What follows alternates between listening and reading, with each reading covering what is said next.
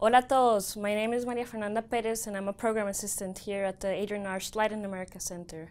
Today, as a Costa Rican, I am beyond thrilled to be welcoming President Laura Chinchilla Miranda, um, who was the 46th president of Costa Rica, first female president to ever hold that position in the office. President Chinchilla, thank you so much for being here with me today. No, thank you. Uh, thank you for this opportunity. It is a pleasure for me to have this conversation with you. Great. I want to kick off the conversation on a more personal note, which is your tenure um, as first female president of Costa Rica, hopefully the first of many more to come. I hope so. Um, the world seems to always turn its eye towards Latin America when it comes to female leadership. In your opinion, what has enabled so many women, although never enough, to reach the highest echelons of public office? In Latin America, you mean? Latin America. Uh, yes. Uh, first, we have to recognize that uh, this is a very important uh, fact. Uh, we have been able uh, to um, to to elect about six women in the whole region during the last years, and that is that is amazing as compared with other regions in the world.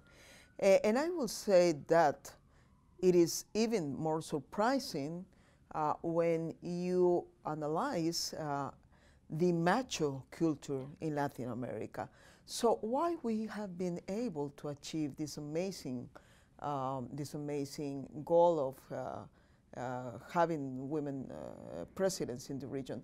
I would say that the most important uh, factor that explains this, this situation has to do with um, affirmative action policies. Now we have in place in most of the countries uh, affirmative action legislation which calls for a high participation of women into politics. I will say that that was the first and probably the most important step we, uh, we, uh, we made and that derived in more women participating in politics. That's great.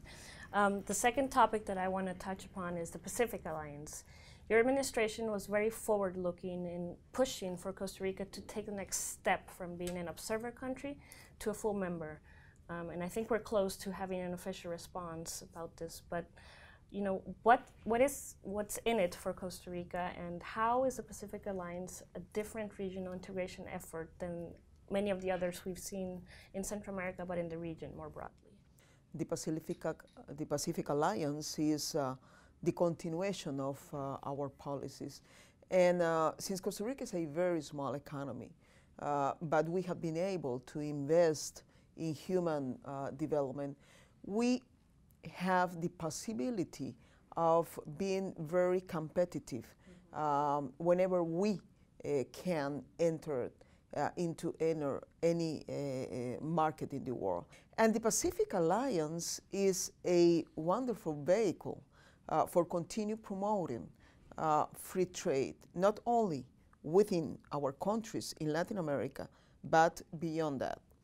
Um, now, on the issue of the Pacific Alliance itself, uh, I consider it as an example of, of successful integration in Latin America. Because when you compare the Pacific Alliance with, for example, uh, the um, Mercosur, what you find is that in Mercosur, in certain way, they have been more concerned uh, about ideology, about doctrines, uh, about um, you know a kind of political discourse, trying to uh, pointing out who is the responsible for our problems. In the case of the Pacific Alliance, what you find is a group of countries, a group of nations that are trying to resolve the problems by their own, uh, are trying to coordinate their policies, try to open their frontiers not only uh, for goods, services, but also for people uh, and for, of course, capital. But also, they have been very successful in terms of uh, sharing more cooperation in education, in health, uh, in promoting uh, small uh, businesses. So they, in a very short period of time, they have been able to achieve an amazing, amazing amount of results, very concrete results.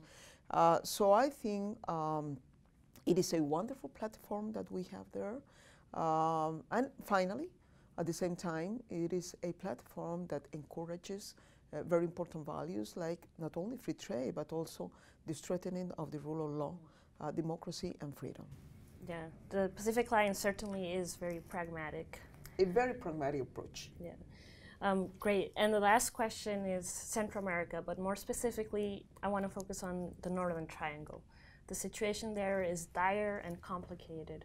In your opinion, what can the international community do to help alleviate poverty, violence, and most importantly, perhaps, what can the international community do to help create opportunities? Uh, the international community, of course, can support uh, the uh, programs and the plans. Uh, and I would say that probably the most important issue to be attended by the international community has to do with the co-responsibility in the issue of organized crime. Uh, because we won't be able uh, to overcome this very complex problem if we do not implement a kind of integral approach to the issue. That means that the international community has also been able to attend the problems of drug consumption. Uh, they have been able to approach not only through uh, uh, the, uh, the reactive policies, but also through more, you know, integrated policies. Great. Thank you very much. This has been a great café con former President of Costa Rica, Laura Chinchilla Miranda. Please stay tuned on the LATAM channel. Muchísimas gracias. Muchas gracias. Ha sido un gusto.